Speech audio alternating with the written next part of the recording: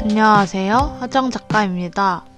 오늘은 제가 최근에 겪은 경험담을 공유해 보려고 하는데요. 저는 좀 신기한 경험을 했습니다. 뭐냐면 제가 작년 12월쯤에 올라온 공모를 냈었거든요. 2차까지 있는 공모였고 1차를 통과했다고 메일을 주셔서 2차에도 되면 좋겠다라고 생각하고 기다리고 있었습니다. 이 공모는 상금도 있었고 전시도 해주는 그런 종류의 공모였습니다. 그런데 메일로 갑자기 많은 작가님들이 지원을 한 관계로 최종 발표를 2023년 1월쯤에 발표한다고 하시더라고요. 그래서 발표 일자가 조금 많이 연기되기도 하고 그 순간에 아 그럼 더 많은 작품을 넣을 걸 하는 생각이 들었어요.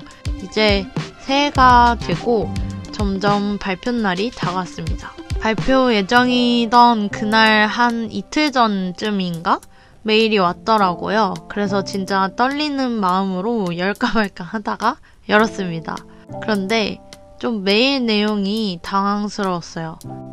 음, 요약하자면 결국 이 공모전은 운영에 문제가 있어 중단이 되었다는 내용이었습니다. 저는 지금까지 공모를 하면서 공모에 떨어진 적은 많지만 공모전이 사라지는 경우는 정말 처음이었어요.